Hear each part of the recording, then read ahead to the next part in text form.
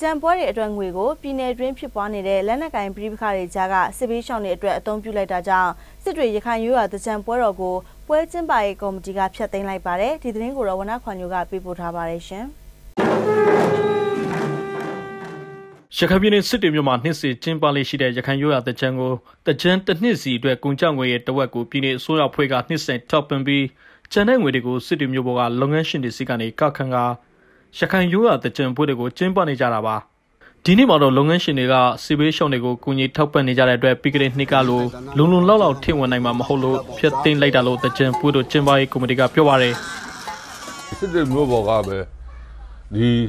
လုပ်ငန်းရှင်တွေစီးပွားသမားတွေစီကဦးလေးတို့အကူအညီတောင်းအောင်ပါဆိုတော့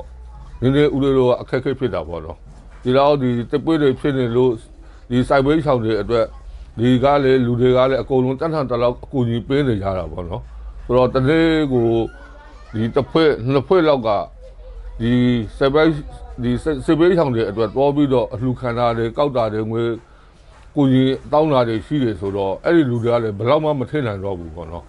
ဆိုတော့အဓိကအဲ့ဒါပါပဲ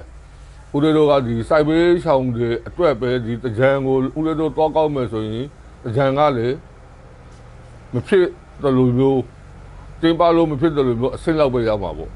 ဟိုလူတွေကလည်းအဲ့လောက်ကြီးလည်းပတ်ပုတ်ကူကြီးပေးနိုင်မှာမဟုတ်တော့ဘူးအရင်နှစ်တွေကဆိုရင်ရခိုင်ပြည်နယ်မြို့တော်အစ်စ်တွေပါဝင်မြို့နယ်အများအပြားမှာရေလုံးမဲနဲ့တွေတီဆိုဖြိုဖွေးမှုတွေရိုးရာအကတွေထိသွင်းပြီးစေကားတက်မြိတ်စာကျင်းပတာလည်းဖြစ်ပါတယ်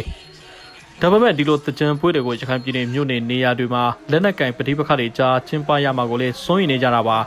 ။အခုလက်ရှိအခြေအနေပေါ်တိုင်းပြည်အခြေအနေအဲပြည်နေမှာဆိုလို့ရှိရင် အဲဒေတာတွေမှာမတိမငြိမ်တွေပဋိပက္ခတွေဖြစ်နေကြတယ်ဆိုတော့ခါဟိုပြည်သူတယောက်အနေနဲ့ဆိုရင်တော့ဒါစိုးရင်စရာပေါ့နော်စိုးရင်တွေပေါ့အခုကတစ်ဖက်မှာပဋိပက္ခဖြစ်ပြီးတော့တစ်ဖက်မှာပျော်ပွဲရှင်ပွဲဆိုရင်